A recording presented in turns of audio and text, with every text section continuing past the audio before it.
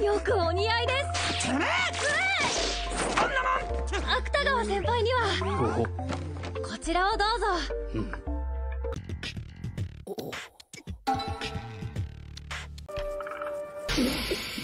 羅生門なんなんだお前。見える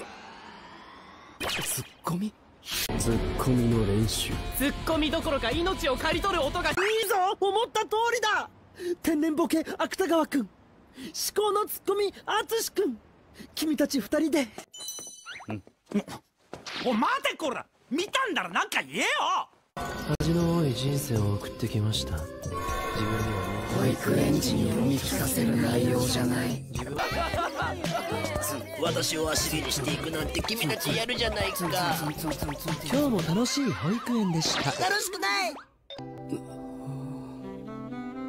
悲しいな。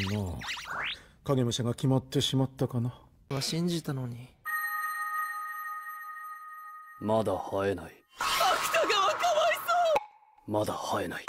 芥川先輩天ぷら粉を用意しておきます。